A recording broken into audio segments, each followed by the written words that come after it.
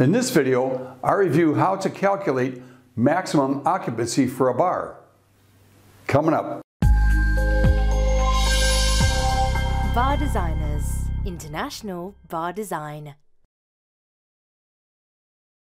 Hey, Rick Usbell again from Bar Designers, where I share my ideas and tips on bar design, draft beer system design, and product reviews. Later in this video, I'll give you today's takeaway. If you're new here, please consider subscribing and check out the show notes and links in the YouTube description below. Now let's jump into the show.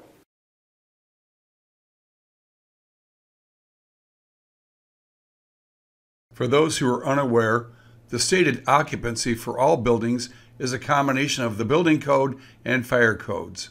The International Building Code, known as IBC, is a solid point of reference but can be superseded by local codes because it's regarded as the minimum acceptable standard. The local fire official has the final stamp of approval of stated occupancies. For this discussion, the building of interest will be a one story, 4,700 square foot non sprinkled restaurant bar, and the IBC is what I'll be referencing. As defined in the IBC, restaurants and bars fall under the use and classification of Assembly Group A2, and the most basic governing limitation is the quantity of egresses, known as exits. Fire safety is at the core of all building codes, and egress is the first criteria we need to address. The following table stipulates the number of exits for various occupancies 0 to 49, 1 exit, 50 to 500, 2 exits, 501 to 1,000, 3 exits, and more than 1,000, 4 exits.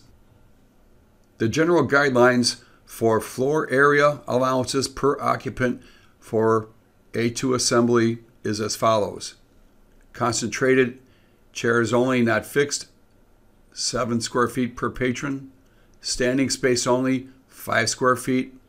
And unconcentrated tables and chairs, 15 square feet. When calculating occupancy, we do not use one calculation for the entire building. We need to apply the occupancy rules for each of the various areas to attain accurate calculations. Consider the 4,700 square foot, one story, non sprinkled sports bar restaurant shown here. The following is an evaluation of each seating area in the front of the house. The reception area is a 30 square foot space in the vestibule.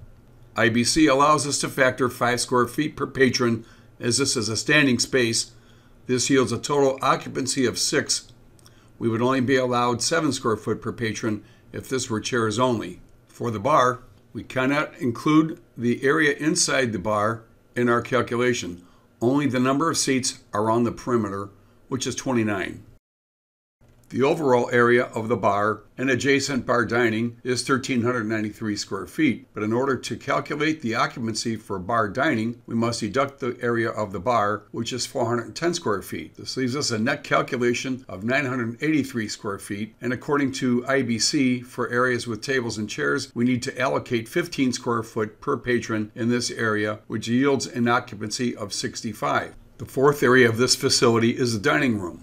Again, in order to calculate occupancy, we can only use the net area as depicted within this border, which is 681 square feet. And because we're using tables and chairs, the occupancy for the dining room is 45. The VIP room, which is 183 square feet and has tables and sofas, we again apply 15 square feet per patron for a total of 12. If the dining room were a dance floor, IBC would allow 5 square foot per patron, which would yield an occupant load of 136 in that area. On the other hand, if an owner wished to operate the dining room space as a dance floor on weekends, the local fire official may only grant the most restrictive occupancy of 45. If this were a fine dining facility, many owners would likely create a more comfortable open space by allocating 18 to 20 square foot per patron which would reduce the occupant load to 34 to 37. Back to the example at hand, to calculate the tentative occupancy of this building, we simply tally the occupant loads from each given area for a total of 157.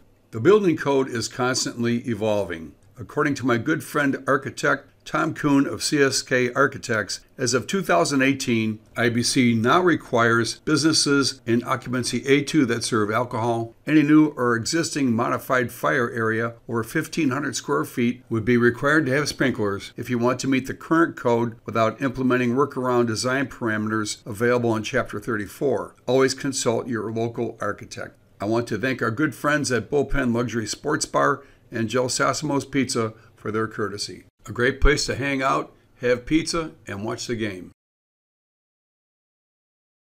The final stated occupancy of any commercial building is the decision of the local fire marshal. See you next time. Bar Designers International Bar Design.